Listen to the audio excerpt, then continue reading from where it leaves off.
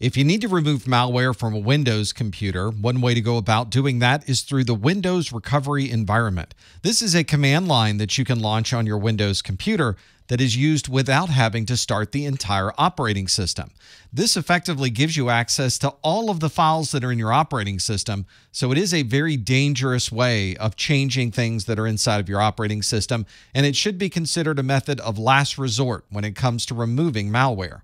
But with that warning in place, this Windows recovery environment gives you a lot of access to the operating system, and you can effectively make any change you would like to any of the files in the OS. But of course, because this is simply giving you a command line prompt, you now have to be knowledgeable enough to know what to do at this prompt to be able to remove the malware. From here, you can copy or modify files that are part of your operating system. You can enable or disable services from starting during startup, or you can modify the file system, run some diagnostics, or modify any part of the underlying file system. One of the ways to start this recovery environment is from inside of Windows itself. When you click on the power icon, get the options for sleep, shutdown, and restart, you would click restart, but you would hold down the shift key while clicking that option.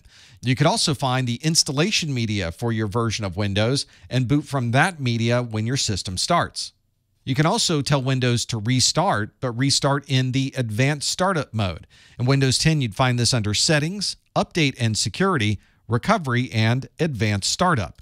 In Windows 11, it's under System, Recovery, Advanced Startup, and Restart Now.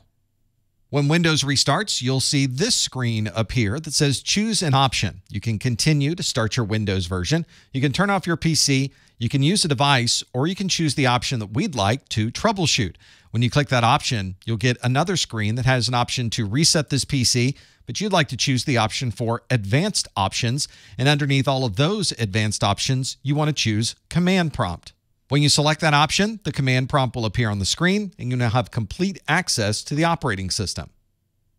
You can sometimes catch this malware before it executes on your system by simply running some antivirus or anti-malware software.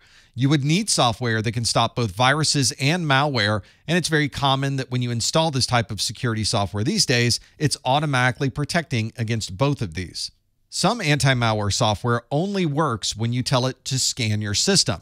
Obviously, that's not going to prevent malware that may have already been installed onto your computer.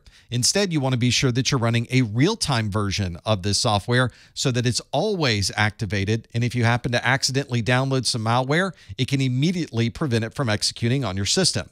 And there's even a new style of anti malware software that looks for malicious activity on your system instead of relying on a set of signatures.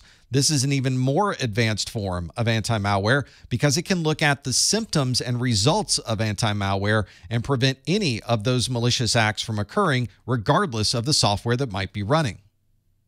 We also want to prevent anyone from outside of our system from gaining access to our operating system across the network. One way to do this is to run a software firewall on your operating system so that it sits on your local computer and monitors all of the inbound and outbound traffic from your PC. This might stop malware that's been recently installed from communicating outbound from your system, and it would certainly prevent any type of malware from coming inbound to your computer. If you've installed Windows, you're already using Software Firewall in the form of Microsoft's Defender Firewall, and this is what you'd like to use at a bare minimum.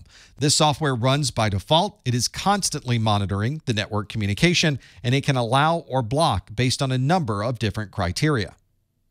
But even with all of the necessary security software in place, you still have vulnerabilities on your network in the form of the users.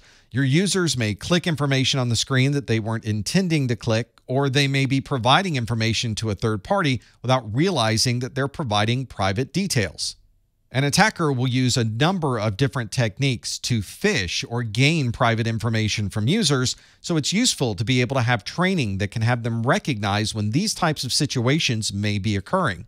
Many companies will train their users and then send out phishing emails that were created by the company themselves just to see who might click on these emails and then provide information.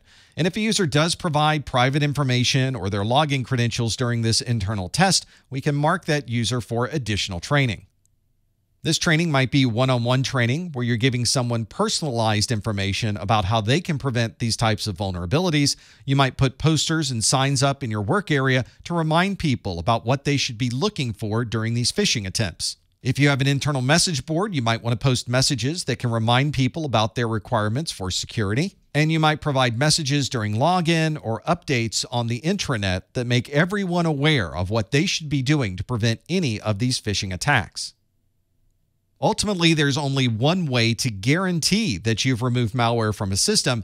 That's to delete everything on the system and install a fresh version of the operating system or install from a known good backup. It's that known good part that is the important part of the backup. You don't want to restore a version of the operating system that may have already been infected with malware, so make sure that your backup is one that is not already infected. You could also, of course, perform a manual installation of the operating system and go through all of the prompts that are necessary to be able to install that OS. That's obviously a much slower form of installation, but ultimately it does provide you with a fresh version of the operating system. And many organizations have operating system images that have already been created. So you can delete everything on that computer and reimage with a known safe version of the operating system very quickly.